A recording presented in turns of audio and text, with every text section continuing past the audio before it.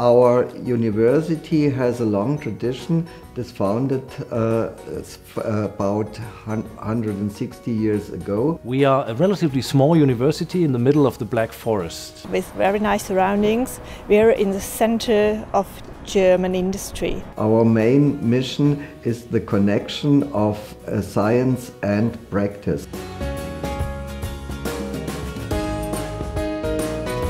Beside further education studies, our mission is to do company courses for the students that are on the job. We have contracts to quite good companies for students to do internships, to write their thesis. We have very distinct relations to a lot of companies here in our region, but we also have very good relations to main international or German um, corporations. My name is Elena, I come from Greece and I study in the business school of Schule Furtwangen University. My name is Cyril, I come from France. Namaste, I'm from Nepal. My name is Raman. We are happy to cooperate with the ICD in Berlin. What we basically do is we combine the academic experience and the academic qualification provided by Furtwangen University with the experience and the qualification of ICD in the world of cultural diplomacy. The faculty here, when, when we started with our business, we thought that there must be something which distinguishes us from other universities.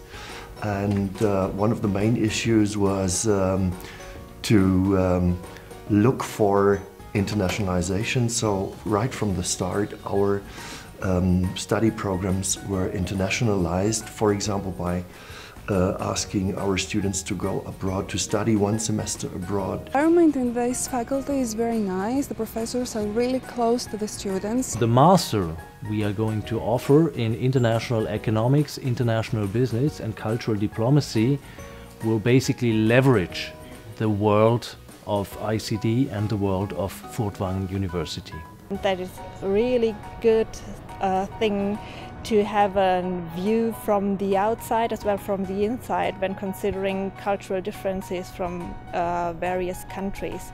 We're also teaching cultural awareness and intercultural communication um, as very important skills to our students. Professors, they really have some practical knowledge from this field, like they are the they, they have some experience in the real world. The teachers are also very good because they have a very good um, experience. When our students leave university, when they leave the ICD, what they need is not only the qualification they get in a degree program, but they also need, I would say, something you can call intercultural um, qualification or cultural diplomacy.